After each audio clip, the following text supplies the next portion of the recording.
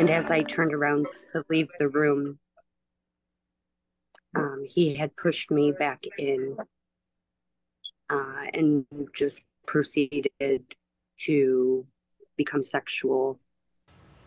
Multiple people reached out to WTOL 11 after those allegations surfaced, including a woman who says Chesser sexually abused her years ago and a neighbor who insists she reported Chesser to Lucas County Children's Services.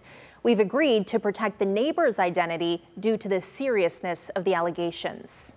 Well, that's a lot, Mr. Chesser. I said, Oh, I'm well aware. Don't, this is WTOL 11 video from back in May when we interviewed Jeremy Chesser and his wife Tisha about fostering children, not knowing he was allegedly assaulting some of the kids in his care and soliciting children on an app. But one person says she did know Chesser just wasn't right. I just knew something was wrong. Mm-hmm. I just knew that it was him. This is his neighbor who told us she saw something odd about six months ago and reported it to authorities. An interaction between Chesser and one of the teenage girls when they were outside. They were kind of horsing around with each other, and then all of a sudden, out of the blue, he just patted her on the behind and kind of grabbed it, you know, and then just leaned over and kissed her on the lips. I thought that was very inappropriate, and that's what made me call Children's Services. She says the kids remained in the home and she never heard back from Children's Services. But she wasn't shocked when the FBI showed up to search his home Wednesday. You you saw the FBI there? Yes. I saw him search his vehicle. And that was another thing I wanted to tell you. I saw him search his vehicle, search her vehicle, and then, you know, they were there till at least 4:30 in the morning. I seen him go in and take photos because the flash was going on. Another woman contacted us to say problems with Chesser um, started well before that. It needs to be brought to light because I think had that have been on his background 23 years ago, it would have prevented possibly foster children being in his placement.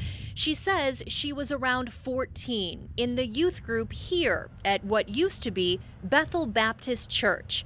Jeremy Chesser was several years older. She says one night while closing up the church, he attacked her.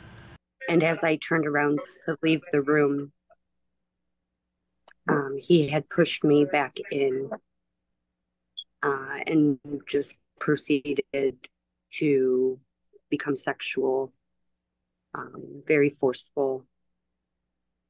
Um, and despite saying no and asking for it to stop, he got more angry and just kept going.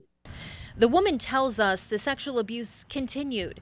She didn't report it until a year later, but the authorities were never notified.